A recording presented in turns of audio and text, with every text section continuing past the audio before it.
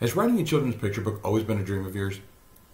Well, in today's video, I'm going to try to help you achieve your dream by giving you seven tips for writing a picture book. So stick around.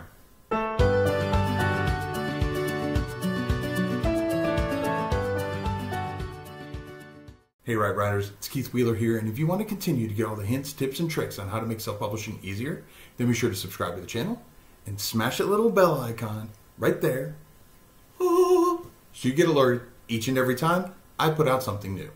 Becoming an indie author was a huge dream of mine for a long time, and I absolutely love writing and designing children's picture books.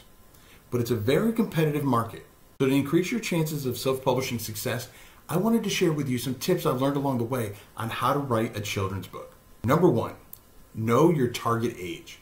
Many people ask me how to write a children's book, and the truth is, children's books is a general grouping it includes books for anyone between the ages of 0 and 17. This includes concept books, picture books, early readers, chapter books, middle grade books, and even young adult. So when you start deciding to write a children's picture book, what age group are you writing it for? This is extremely important not only for writing a good picture book, but it'll also help you later on when you're creating your keywords to help you with selling your picture book on Amazon and other platforms. Take, for example, my Buddy Knows Letters. While most people may look at this and think it's a picture book, the truth is it's really considered a concept book. What's the difference? The difference is in the targeting. Concept books are typically for children ages 0 to 3, where picture books like Mimi's Adventure are more for like 4 to 6 year olds. Now, obviously, this doesn't mean that there's no crossover and that parents will probably read picture book to an infant the key here is that we want to write the children's book with the target audience in mind. Number two, know your target vocabulary. Once you've decided what age group you want to write for, you now can research the vocabulary level of that age group to ensure that you write the perfect picture book for that group. Now, don't get me wrong, it's okay to throw in a couple words that are above the age level, as it can make the book even more engaging and actually lead to some great five star reviews. That said, be sure to use this sparingly because if it's done too much, it can lead to negative reviews. It's a delicate balance. I typically will do no more than two words above the age level of my target audience. Number three, know your target gender. Are you writing a picture book for boys, writing a picture book for girls, or are you planning on writing a book for boys and girls? This is important as it will help determine the gender of your main character. People like to relate to their main character, and by writing your picture book with the target gender in mind, you can increase your chances of an enjoyable story. Also, your target gender may affect the theme of your picture book. Side note kids love animals, so animals as main characters are pretty popular. But just remember, animal or not, there's typically still a gender. Number four, know your target length. When asked how long should my picture book be, my answer is almost always the same. As a general rule of thumb, children's picture books are typically between 24 and 36 pages long. That said, the best way to determine your length of book is similar to any other type of book you may self publish. Go onto Amazon and check out 10 to 20 books that you would consider to be competition. Make sure you're picking ones that are actually selling. You can tell by looking at the BSR or bestseller ranking. If there is no BSR, the book's not selling.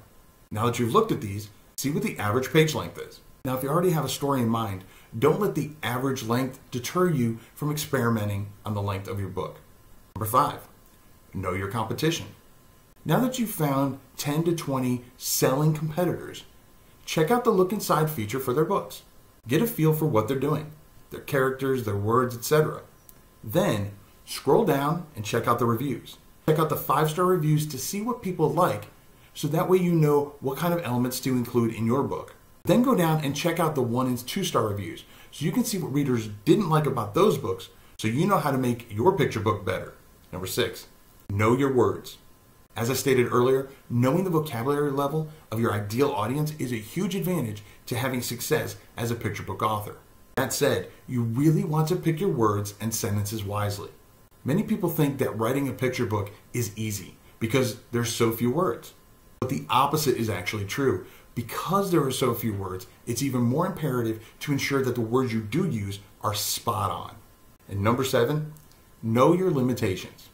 I strongly suggest to try and avoid writing picture books that rhyme. At least not for your first few books. While it seems to be a very common desire to write picture books that rhyme, the truth is it's seldom done right. The reason is that while you may write your picture book with a certain rhythmic pattern in mind, that doesn't mean that the reader will read it that same way. And unless they read it with the exact same pattern that you intended, it won't flow properly and will simply just seem a little off. That's probably why Dr. Seuss had to make up so many words in order to ensure that the intended rhythm was met, regardless of the reader. Writing the picture book is just one step in the process. In fact, I created a playlist where I show you step by step how to create a children's picture book with and without bleed in PowerPoint. I even show you how to create the picture book cover. So go on and click this video right here so you can get started on creating your children's picture book and seeing your dreams come true. Or you can click over here and see what YouTube has queued up for you. I'll see you in the next video and remember to write right.